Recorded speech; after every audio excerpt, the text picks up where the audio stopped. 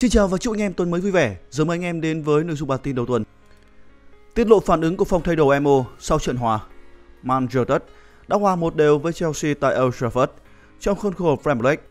Và Bruno Fernandes cho biết có rất nhiều sự thất vọng trong phòng thay đồ của Quỷ Đỏ sau trận hòa một đều với Chelsea. Sau khi vươn lên dẫn trước ở phút 70, nhờ bàn thắng đầu tiên của Fernandes tại Premier League mùa này trên chấm phạt đền, Quỷ Đỏ đã bị gỡ hòa chỉ 4 phút sau đó nhờ nỗ lực tuyệt vời của Moises Caicedo. Tiền vệ của Chelsea đã đưa đội của London cân bằng tỷ số khi tung cú vô lê thấp qua người của Andre Onana. Quả bóng đã bay đến cựu cầu thủ của Brighton sau khi Quỷ Đỏ không xử lý được quả phạt góc. Kết quả là Man United chỉ thắng được một trong 6 trận đấu gần đây nhất tại Premier League và bây giờ đang tụt xuống vị trí thứ 13 trên bảng xếp hạng. Sau trận đấu, Fernandes thừa nhận rằng các đồng đội của anh cảm thấy thất vọng. Anh nói với Sky Sports mọi người đều biết tôi muốn bàn thắng đến thế nào. Tôi cần giúp đội, ghi bàn và kiến tạo.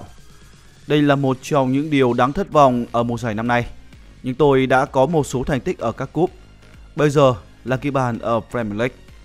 Có rất nhiều sự thất vọng trong phòng thay đồ. Chúng tôi đã có thể giành chiến thắng trong trận đấu này. Man United đã thắng 1 và hòa 1 kể từ khi Ruth Van Nistelrooy được giao nhiệm vụ tạm quyền sau khi sa thải Erik ten Hag vào thứ hai tuần trước.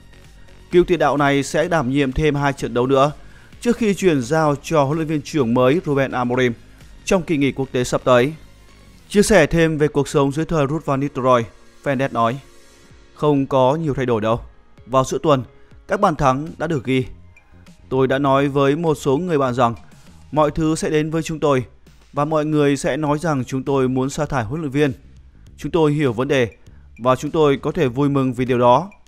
Chúng tôi cần phải thất vọng vì chúng tôi đang tụt hậu quá xa trong giải đấu này.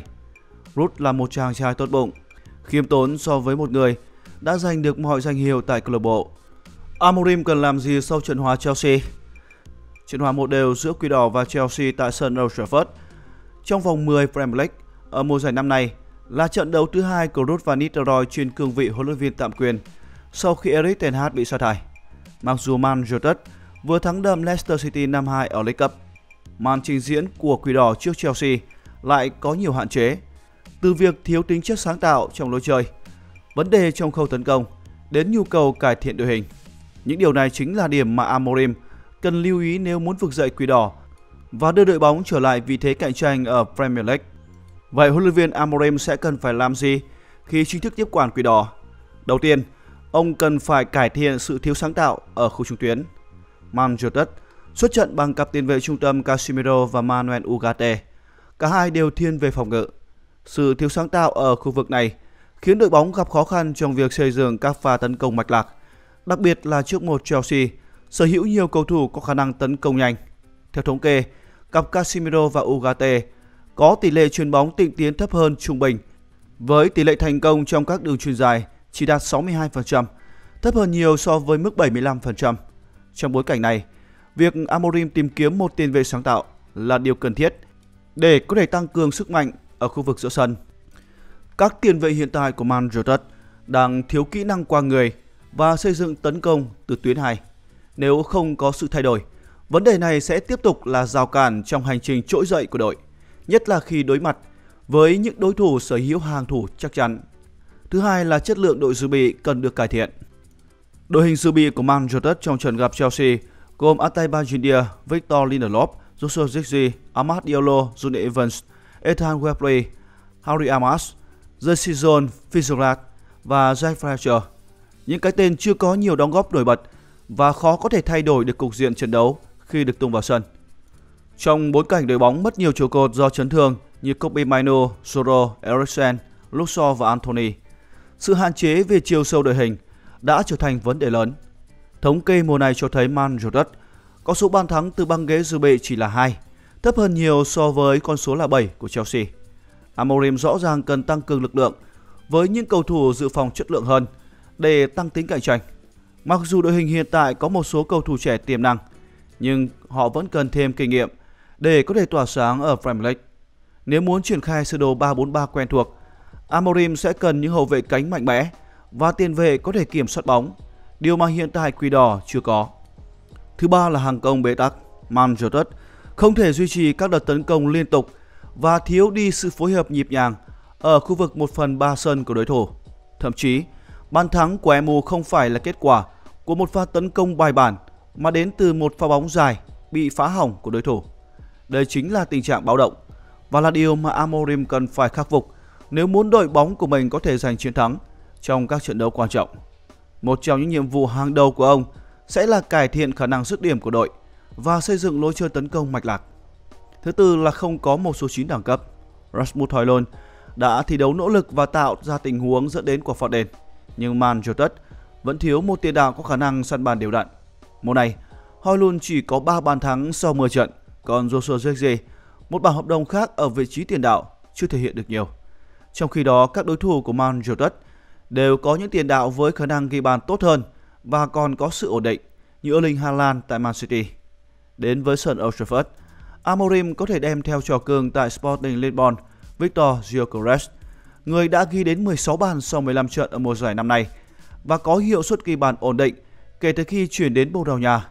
Với khả năng dứt điểm tốt và kinh nghiệm thi đấu tại châu Âu, Gyökeres có thể là lựa chọn phù hợp để cải thiện sức mạnh hàng công của Man United. Cuối cùng là nghi vấn về chiến thuật. Câu hỏi lớn nhất dành cho Amorim là liệu ông có thể truyền tải triết lý và lối chơi của mình cho các cầu thủ của Man United một cách hiệu quả hay không. Với lối chơi 3-4-3 đòi hỏi sự kết hợp giữa kỹ thuật và kỷ luật chiến thuật cao. Việc gò các cầu thủ chơi theo triết lý của ông sẽ là một thử thách. Một giải năm ngoái, Erik ten Hag đã gặp khó khăn trong việc giúp các cầu thủ thích nghi với chiến thuật của mình. Và đây là điều mà Amorim cần phải tránh.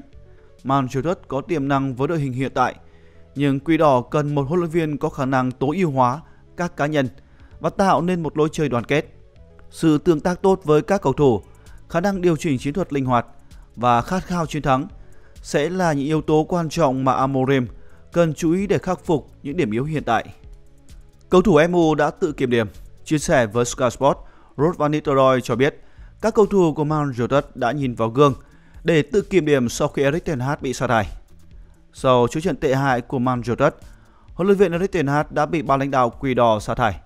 Trong thời gian chờ Ruben Amorim hoàn tất những thủ tục, Ruud van Nistelrooy tạm thời lên nắm quyền tại sân Old Trafford. Vị chiến lược gia người Hà Lan phần nào giúp cho Quỷ Đỏ thu về những kết quả khả quan.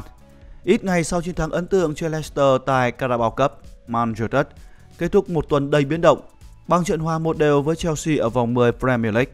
Chia sẻ với Sky Sport, Rod van Nistelrooy tỏ ra hài lòng với phản ứng tích cực của các học trò. Ông nói, từ thứ hai đến hôm nay, chỉ trong 6 ngày, chúng tôi đã trải qua nhiều cảm xúc trái ngược. Erik ten Hag đã rời đi, để lại sự tiếc nuối rất lớn. Nhưng ngay sau đó, tôi phải lập tức tập trung vào việc chuẩn bị cho đội bóng thi đấu trước Leicester vì có 75.000 khán giả đang mong chờ. Chúng tôi có nghĩa vụ và các cầu thủ cũng cảm nhận được trách nhiệm phải làm tốt hơn. Nhà cầm quân 48 tuổi cũng nhấn mạnh, các cầu thủ đã tự kiểm điểm bản thân và phản ứng của họ trong trận gặp Leicester cũng như Chelsea cho thấy tất cả đã suy nghĩ nghiêm túc về những gì đang diễn ra. Trận hòa ngay tại sân Old Trafford dù chưa thể giúp cho Man United cải thiện vị trí trên bảng xếp hạng nhưng dẫu sao, nó cũng phần nào mang đến niềm tin cho người hâm mộ bằng những điểm tích cực. Giờ đây theo lịch thi đấu, Quỷ Đỏ sẽ chuyển hướng đến mục tiêu trong trận đấu với PAOK tại đấu trường Europa League diễn ra vào giữa tuần. Trên đây là những thông tin nổi bật liên quan đến đội bóng ngày hôm nay. Để cập nhật sớm nhất tình hình của đội bóng thân yêu, mời anh em hãy like, share và đăng ký kênh. Xin trân trọng cảm ơn.